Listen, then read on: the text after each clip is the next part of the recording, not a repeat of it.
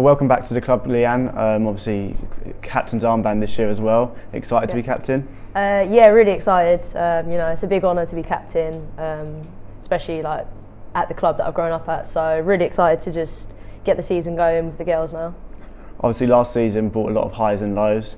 What was your best experience from last season? I think oh, I don't know. It's a tough one.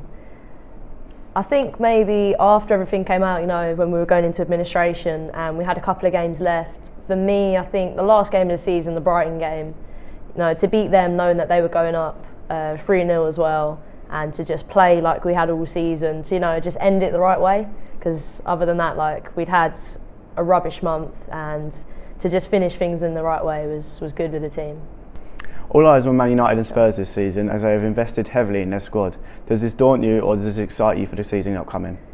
For me, I think it's exciting. You know, last year we sort of proved that we could compete with everyone else that was at the top. Um, so this year, you know, we might be seen as the underdog again, like we were the years before. But for me, being the underdog, you know, we always thrived at that, and we were always good at upsetting teams. So I think it just goes down to that 90 minutes on the day. Who wants to win it more?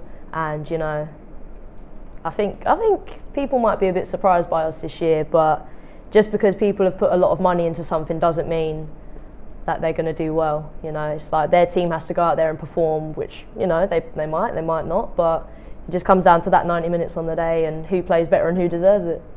Um, for you personally, how has pre-season gone?